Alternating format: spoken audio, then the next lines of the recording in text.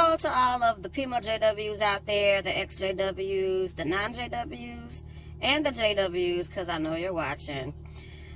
This is Mackie Pimo JW Jones, aka that Pimo JW on TikTok. And this has got to be a glorious day for the J Dubs because the most prestigious tennis, female tennis player on earth just so happened to get baptized. Mm-hmm. Serena Williams got is an actual got actually baptized. Um, and I'm gonna tell you something. I don't think that her getting baptized is going to affect her at all. Just like it really didn't affect Prince. Okay.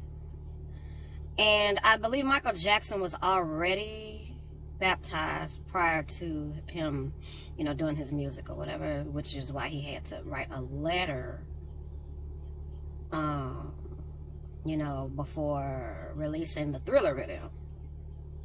But I don't think this is going to affect her at all. Because, for one, everybody loves her. Witnesses and non-witnesses. So, it's like if she were to get disfellowship or something like that, you got millions of people that still love her, you know? And I'm gonna tell you something when it comes to celebrities, they they they get a little bit more of a pass on life for some reason. Like, you know, witnesses were still listening to Michael Jackson after Thriller. I know my mother was. You know, nobody said anything about that. Now you do have some holy roller Jehovah Witnesses that will say, well, you shouldn't be listening to Michael Jackson's music because, you know, he he disassociated himself after he did the thriller video. You shouldn't be watching the thriller video. You know, that's a demonic video and things like that. But then you got other people that's like, man, as long as I don't listen to thriller, I'm good. but seriously, like being that she's such a superstar celebrity, it's really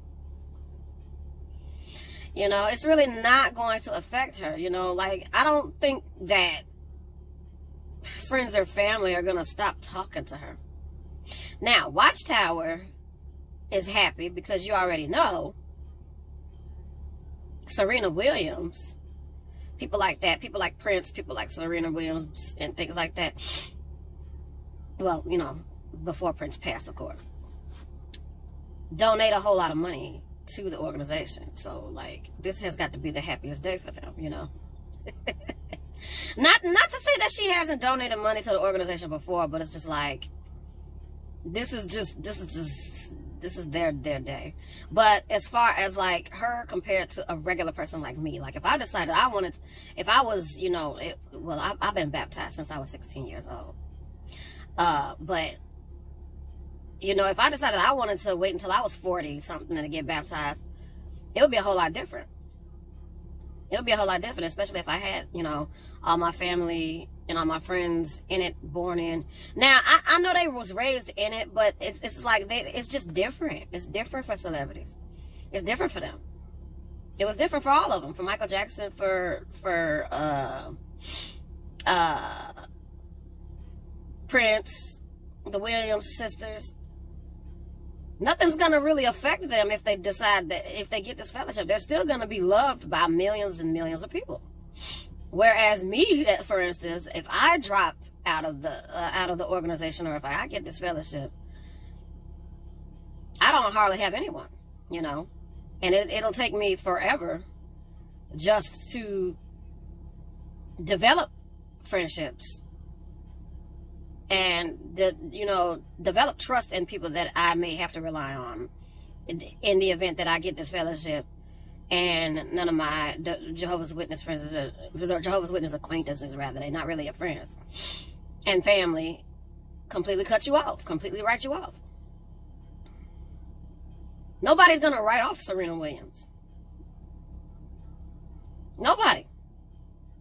If she decides she doesn't want to be a Jehovah's Witness no more, people all around the world be like, oh well, like it's just it just wasn't her. It wasn't meant to be for her to just be a Jehovah's Witness, and that'll be the end of it.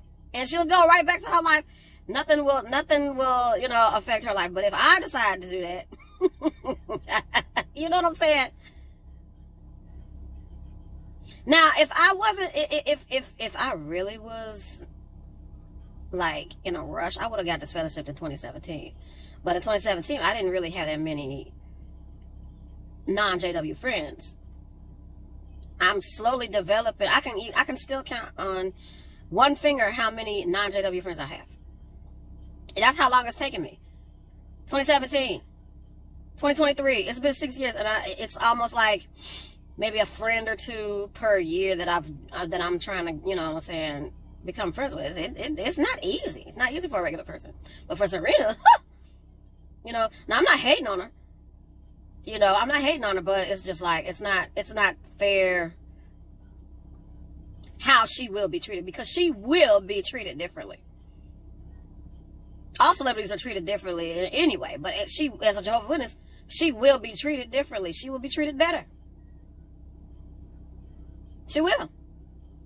So yeah, that's my take on it. Uh, this is Mackie Pimo J. W. Jones. I'm about to um, do some work. Got some projects going on. So um, I hope you all have a beautiful day. Question everything. Don't be afraid to ask questions. Don't be afraid to think outside the box. And don't be afraid to do outside research. All right. Love you all in peace.